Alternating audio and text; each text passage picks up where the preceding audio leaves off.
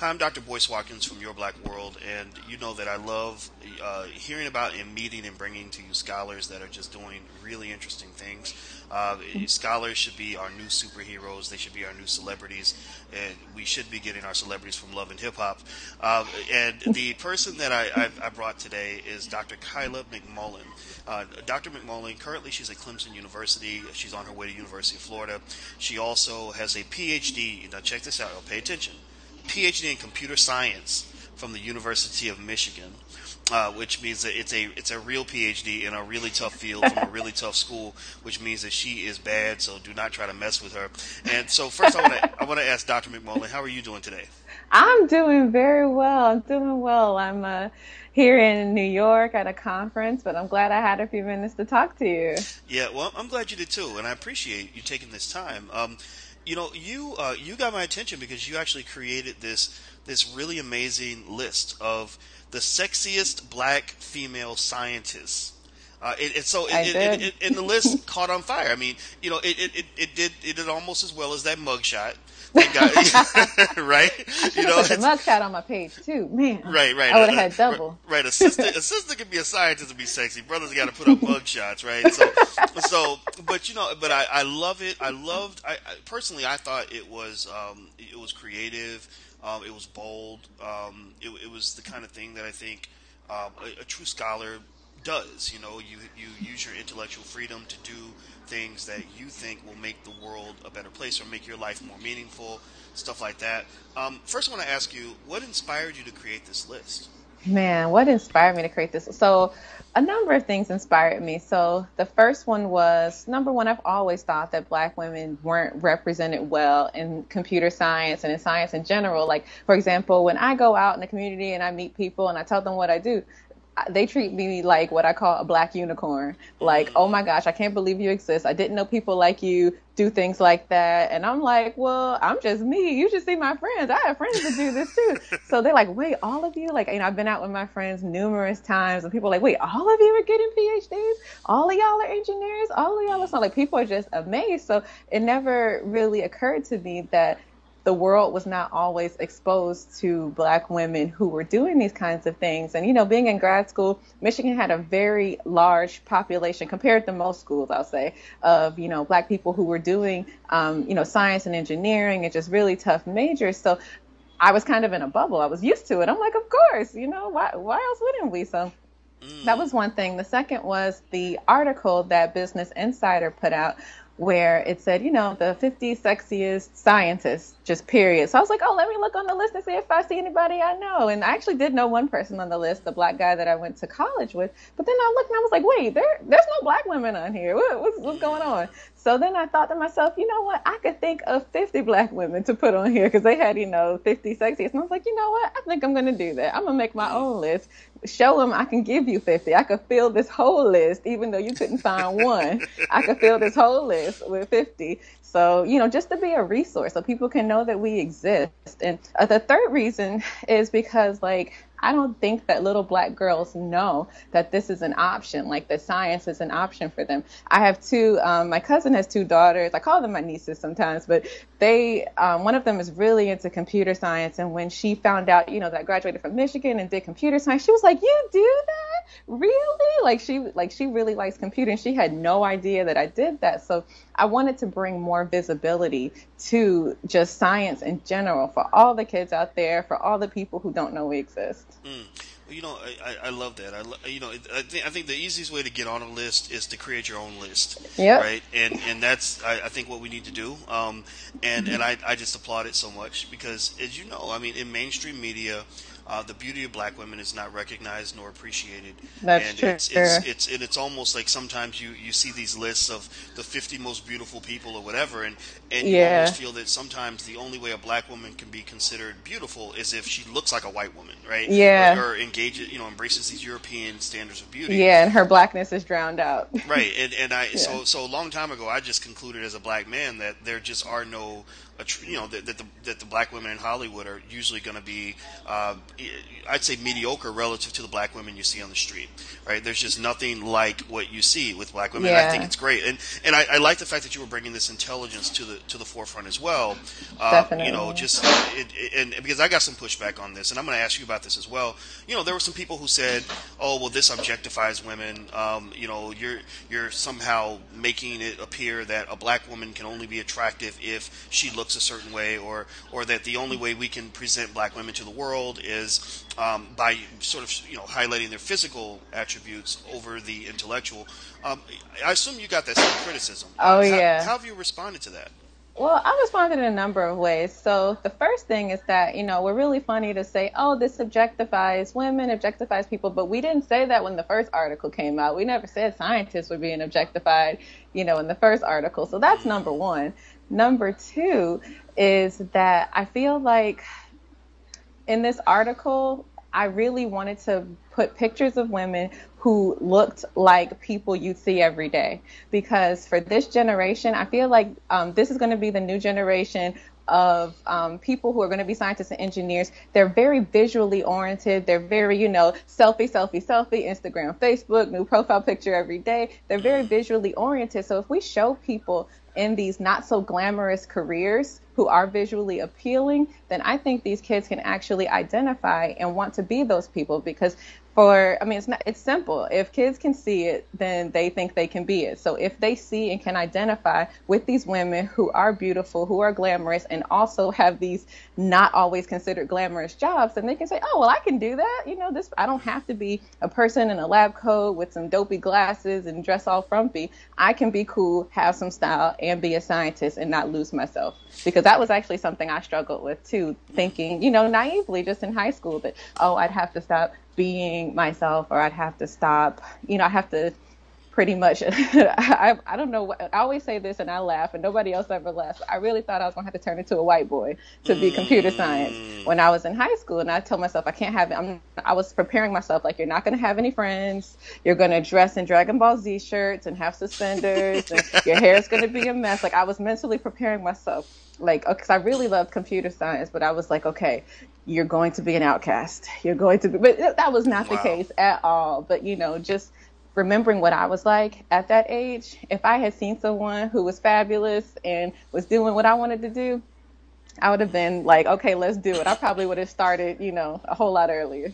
Wow, wow. So, so you realize you didn't have to go through the Urkelification of yourself in order for you to be a scientist, and and I, I think that's awesome. You know, because I have I have daughters, and I I just you know mm-hmm. I I appreciate what you did because uh, if you're around young black women, you see just the heterogeneity on their personalities, the diverse sets of interests that they have, and uh, Yeah. in, in fact, uh, in fact, one of my girls is actually studying engineering, and uh, Awesome. you know, and it's just kind of unfortunate that we live in this world where uh, she she's gonna have an easier time conversing and interacting with people if she's talking about love and hip hop or you know some of these other silly things that kids are being influenced by than if she's talking about you know computer engineering or all these other things. So now let me ask you this: uh, uh, Where did you grow up um, and all that stuff? So I grew up in Washington D.C. Um, grew up there the first 14 or so years of my life, and then when it was time for high school, I moved right over the border to um, Prince George's County and went to Oxon Hill. So most of my life was in the D.C. area, D.C. metro area, the DMV as they've started calling it.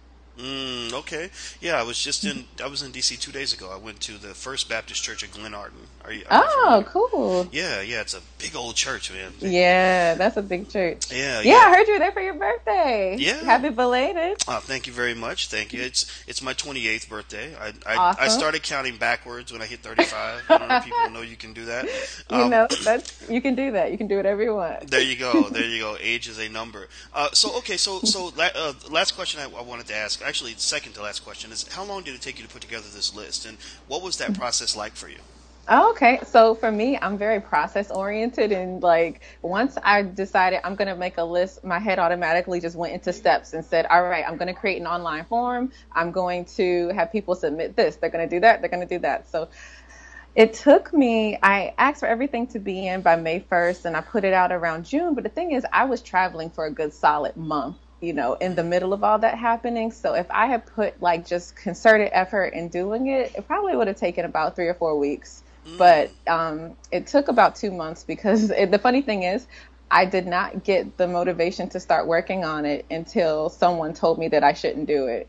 Mm, really? No. Yeah, I was literally at a conference. I don't care if I get in trouble for saying this, but there was a speaker and she studies um, black women in STEM, so science, technology, engineering, and math, black women in STEM in the academy in academia. And I told her what I was thinking of, and she told me I was doing the wrong thing and I was, you know, that wasn't the way to go about, you know, getting black women to do this. And I was like, you know what? I, I'm gonna do it. So mm. the best way to get me to do something to tell me not to do it. So, That's right. That's like right. immediately at that conference right there, I started working on it like at the table. I was like, let me go ahead and write some code because she playing games. She don't know this gonna be the best article on earth. I, I, I love that. I love that. And and and I mean, did you did you find that you know because academia, it's funny, you know it, sometimes academia can be restrictive on your intellectual mm-hmm. freedom, especially when you haven't made tenure yet and stuff like that. Yeah. I mean, what you know, do you, do you feel that there were people in academia who kind of said, okay, this is unconventional. Like, you know, why is she mm-hmm. doing this? She shouldn't be doing this type of stuff. I mean, was was that kind of a common thing, or or was that just sort of one in a million? You know, people in academia, I did get some people at the conference who said, you know, you shouldn't do this. But then I got other people on the other side of the aisle saying, go ahead, girlfriend, please do. I wish I had something like this when I was younger. So, um, but I feel like the older generation was a little bit more, you know, hey, critical, don't do that. But the younger generation of professors were like, please do it. I'll be in it, whatever you want. So, um, wow. there was some pushback there. But in terms of tenure, I really don't I have a weird view of tenure. I'm going to do my best at my job while continuing to be me. So if that gets me tenure, it does. If it doesn't get me tenure, then I'm still an awesome person. I can go do something else. Well, so I, I, I think that's the, the, the perfect view. And I, since we have other young scholars that are going to be watching this, I, I want to give you advice on camera so people can kind of hear this. Mm-hmm. Um, you know, the first thing I'll say is that uh, you're always going to be better at being you than you're going to be at being every everybody else or mm-hmm. anybody mm-hmm. else, right? Because you know, I realized for myself when I was working on becoming a white boy to fit into finance, I realized that I'm never going to be very good at being a white boy. At, at, the very least, I'll never be as good at being a white man as white men already are. Right? right. At best, I'll be just sort of this this you know inferior replacement. And I didn't become alive as a scholar until I became myself. Now, mm. that does not mean, though, that there is not volatility that comes with that. You know, yeah. in, in, general, in life, human nature, every psychologist will tell you that when people are different, when they stand out, you know, some people are not comfortable with that, and there's the mm-hmm. fear of the unknown, right? We, I need That's to shrink true. you back into my box because I, I'm comfortable living in this box, and I feel that this is the place everyone needs to be. And but the, the, the truth is that if you look throughout history, you know, the greatest scholars in history are those who push the envelope, who said, That's let's, right. let's do things a little better, a little bit different.